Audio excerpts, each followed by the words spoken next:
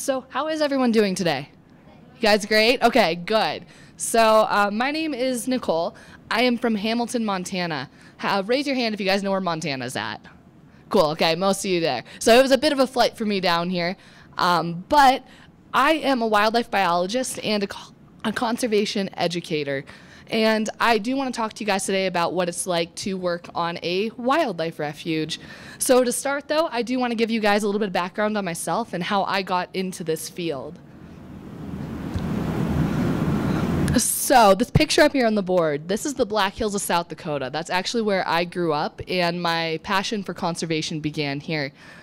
Um, I spent most of my childhood camping and hiking and also, I did a lot of fishing. I love ice fishing, fly fishing. Um, I'm also a hunter. So when I got into college, I really started to hunt. I do big game hunting, and I also do some waterfowl hunting now, too.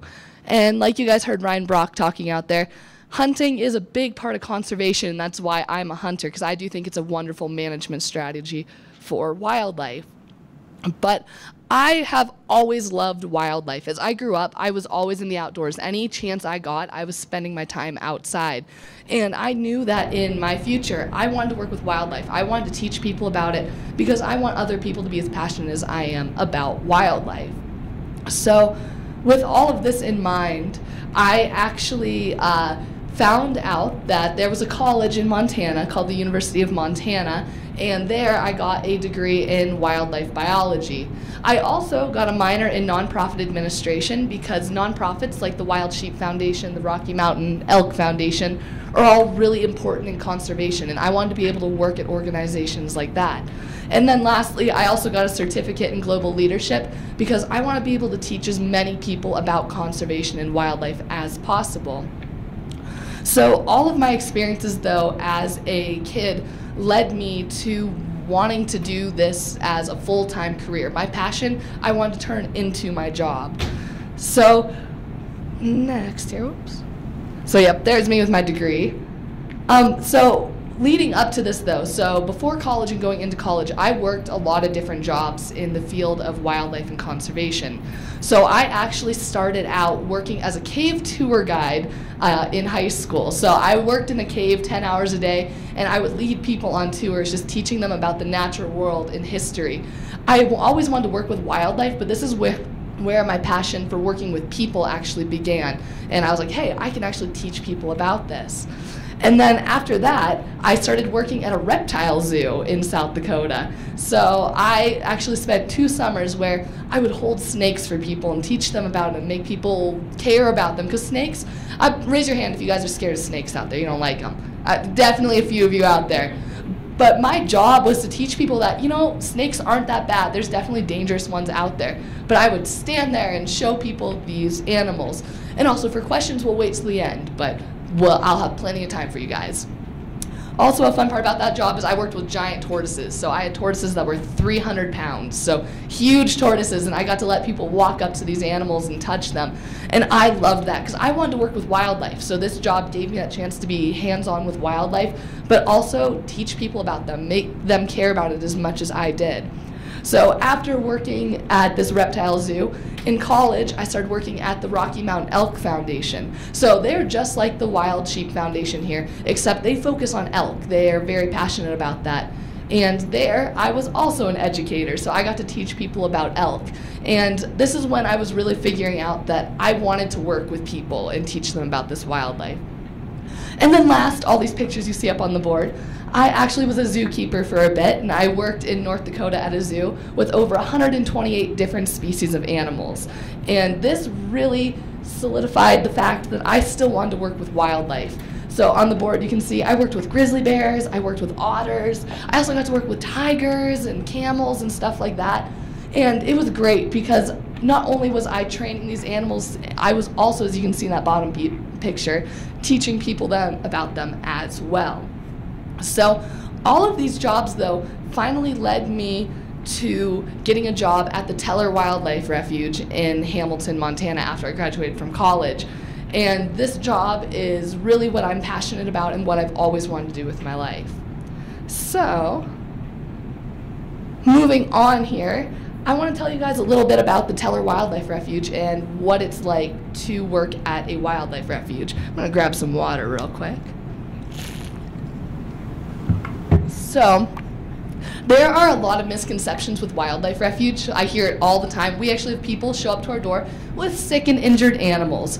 We are not a rehabilitation facility, so if you ever see um, injured wildlife on the road or such like that, don't take them to wildlife refuges. We do care for animals, like we're trying to protect animals, but we aren't re rehabilitating them to put them in the wild. We are protecting the habitat that animals require to live with.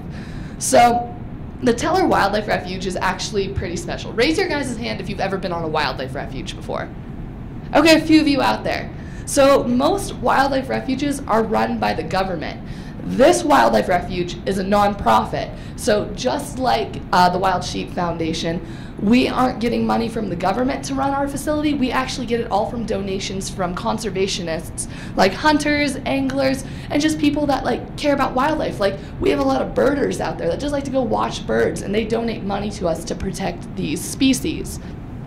So the mission of our wildlife refuge is to inspire, educate, and demonstrate conservation in action. My job at the refuge um, encompasses that mission completely. I am responsible for making that mission happen on the wildlife refuge.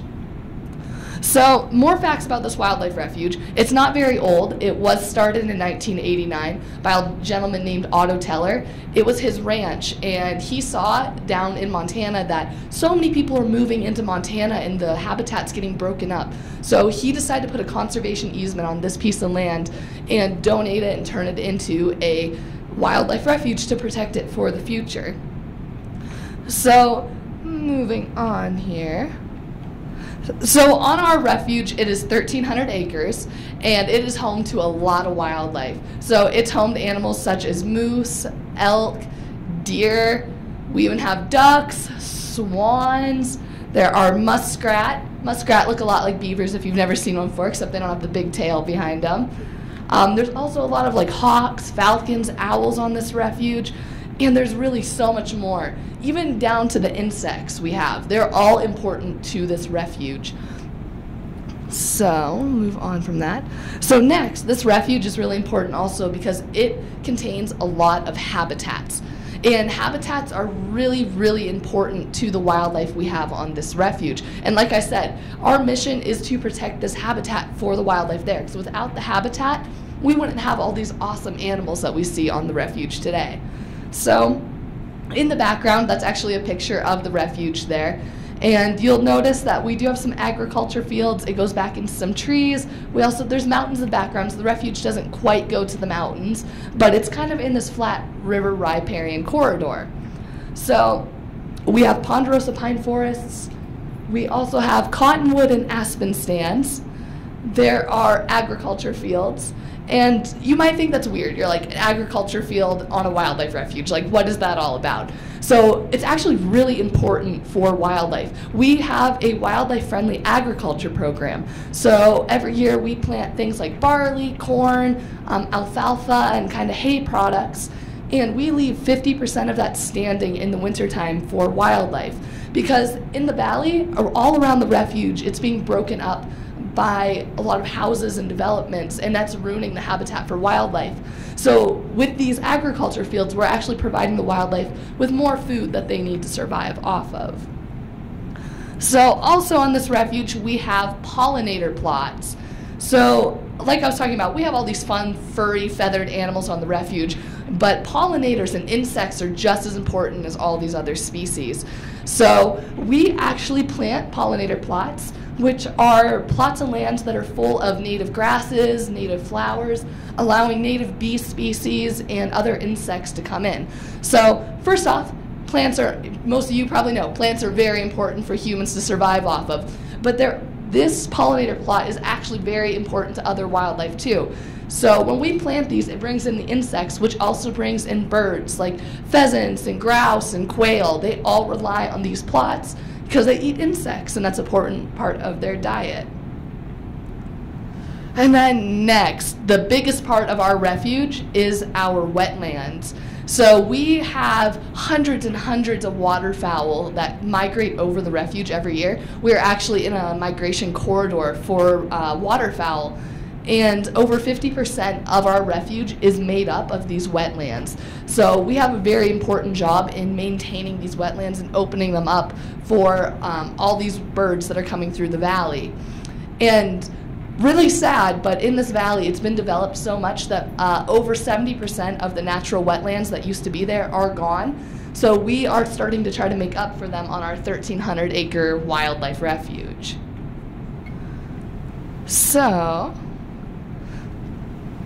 so the next thing I want to talk about is the jobs on a wildlife refuge. How many of you guys are considering ever working with wildlife or in the conservation field? Okay, a few of you out there.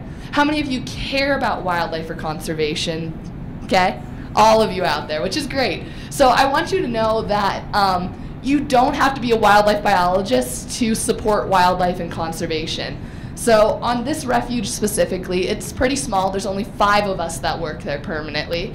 And I'll kind of give you a little description on everyone. So that little picture there, that's a little aerial picture of looking down at the refuge. You can see the wetlands and their agriculture fields, also the forests we have on it. But most importantly, our executive director, so he's like the head man, the big boss there at the refuge. It takes a while to work up to that kind of a position. You have to start where I'm at, and eventually you can work up into a place like that. But he is the one that makes all of the big decisions on the refuge. So he plans all the projects. Like if we want to open a new wetland, he is the one that will go out on the refuge. He'll monitor, he'll see where a wetland can be opened up. He calls up the right people and makes sure it happens. Um, he is also really important because we talk to landowners. So we want local landowners in the area to start protecting their land like we are protecting ours because we want to make a big migration corridor for people. So he will actually go to people's properties, assess it for them, and then gives them suggestions on how they can protect wildlife on their own properties. So up on that top little picture there, there are a lot of projects we run on the refuge that there, you'll see it's a really tall fence, and you're like, why? That doesn't make sense. Like, that's keeping wildlife out. Like, why would you put big fences on your property? Well, that is actually protecting an aspen stand. We have so many deer and elk and moose on the property that if we don't fence off parts of the forest area, areas, they will actually eat it all the way down to the ground because there really isn't much left in the valley for them to eat on anymore. So they rely heavily on what we have on the refuge. So about every 10 years, we rotate these enclosures around different aspen stands. We allow them to grow up as big as they can, and then after 10 years, we move it to a new stand that needs protecting. So it eventually opens up for animals to use again, but it protects it in the short run. So next, here it looks kind of scary. There's a fire on the refuge. This is actually very important we have to burn down the cattails that happen on the refuge every year. Cattails can actually be an invasive species. And so to open up wetlands for ducks and such, we will burn out the middle of these cattail sections.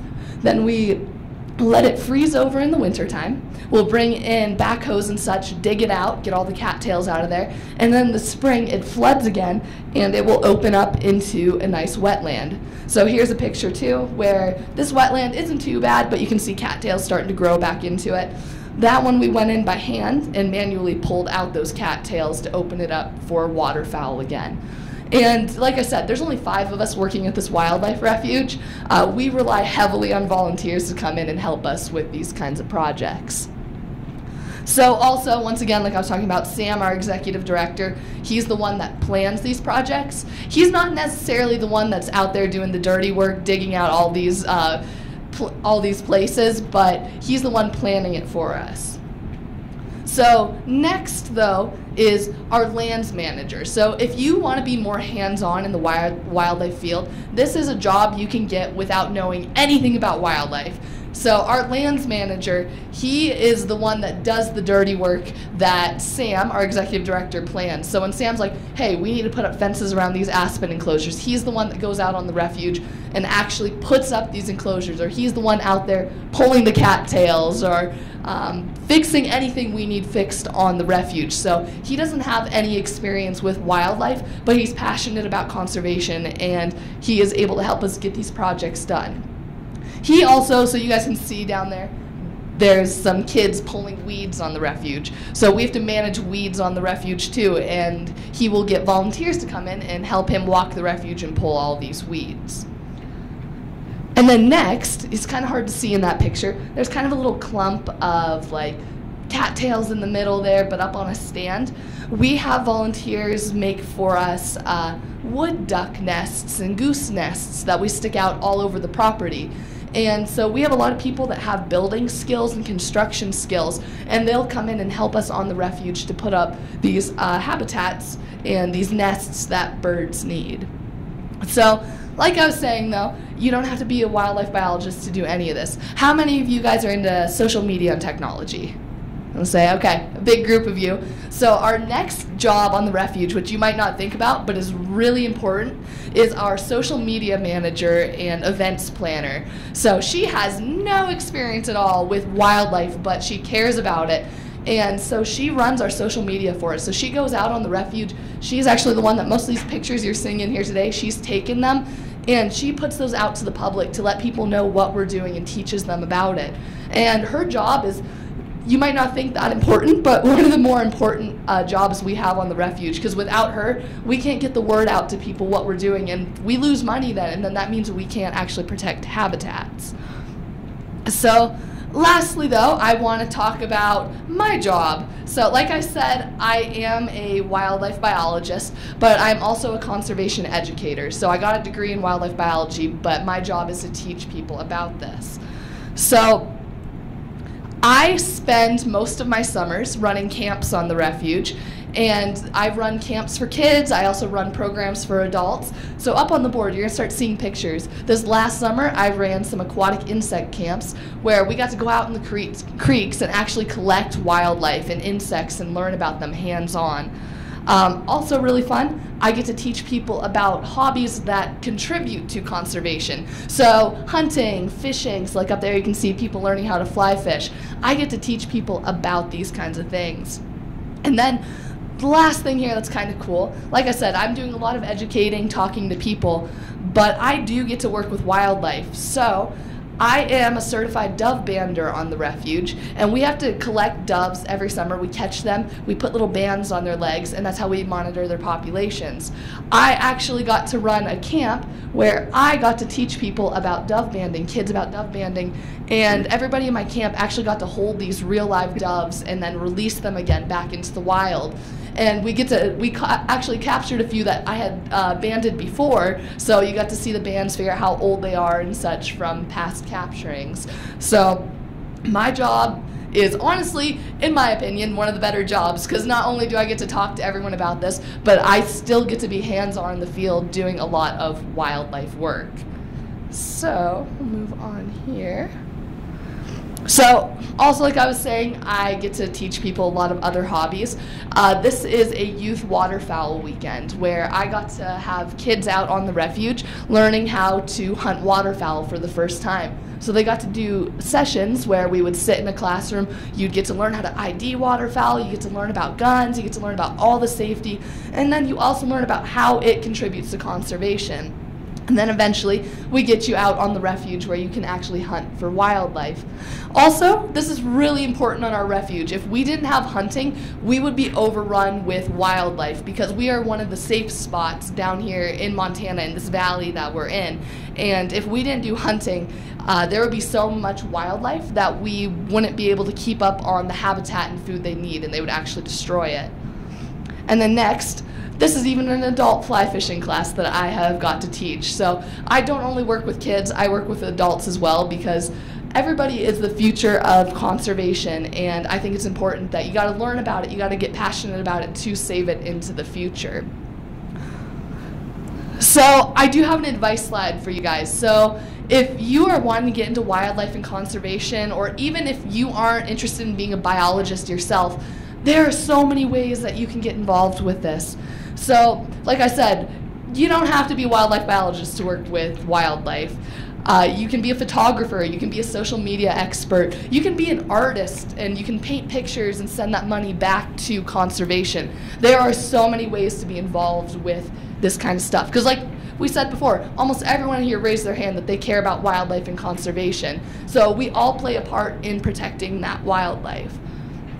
So, my second bit of advice is make sure you follow your passions and work hard in school. When you find something you love to do, just go hard after that because when you get up into your adult life and your adult career, you want your passion to be your career. You don't want to feel like you have to go to a job every day that you don't love. Like me, I work with wildlife every single day and get to teach people about it. I don't feel like I'm working at all. This is what I love doing and I want to do for the rest of my life. And then my last one to you guys is just remember to have fun and enjoy the outdoors. It's there for you. It's in your back. You don't have to live out in the country to be in the outdoors and enjoy wildlife. Just in your backyard yourself, you can enjoy all these things and these passions you have. And my last little piece of advice is we can all be wildlife warriors. So all you have to do is be passionate about what you're doing and whatever you love doing, you can contribute to conservation. So with that, any of you guys that like social media, you will see on the bottom of this slide, you can get on our website, you can follow us on Instagram or even Facebook, and you can see the projects we do on a day-to-day basis. So I want to open it up for questions. Do you guys have any questions about a wildlife refuge and what it takes? Yeah. It's, it's kind of less of a question, but more a comment. Perfect. Me, me and my friend here, we both absolutely love reptiles. And one of the YouTube channels that we watch, actually, they, one of the people were cave, uh, like tourists, and also, like, reptile educators. Well, I agree. Reptiles are pretty cool. Yeah. Some people don't agree with me, but they are. I also got to hold a baby alligator over with the race. Very cool. Very cool. All right, I saw your hand over there first. Um, where is it lowest in Montana? Is it kind of near, like, Juneau Stone? So we are on the far western side of the state, so almost in Idaho. We are located next to it's called the Bitterroot Mountains, so it's a really big mountain chain chain in the Rocky Mountains. I saw your hand there. Do I speak at stuff like this very often? So I'll be honest, uh, I started this job in June, so I am still very new at it, but all the jobs I've had in the past have been kind of doing this, interacting with people and talking to them. I actually used to be scared of public speaking, but I've done it so much now that I am used to it. So yeah. I see your hand back there. The biggest snake I've ever held. Well, there was a python at our old zoo that you had to have 10 people to hold him up. I can't remember what he weighed, but not one person could hold him. He was so big. yeah. Any other questions though about the refuge or any you can ask me even about my any of my old career stuff too. If not though? Yeah, do you have one? What was my favorite job before? I will say I loved being a zookeeper because I love working with wildlife. It is one of the harder jobs I have ever worked, though. You don't get a lot of time off, um, and because an- they're animals, they're stuck in this zoo, and you have to be there every day to take care of them. But it's one of the most rewarding experiences because you get to see these animals grow. You also also get to see a lot of people that come to the zoo learn to love the animals that you love too and want to care for them. So yeah, yeah. Do you have one? Favorite animal at the zoo? Probably the river otters. They were they were cute. They were very fun. Lot smarter than you think too. All right. Any other questions? All right.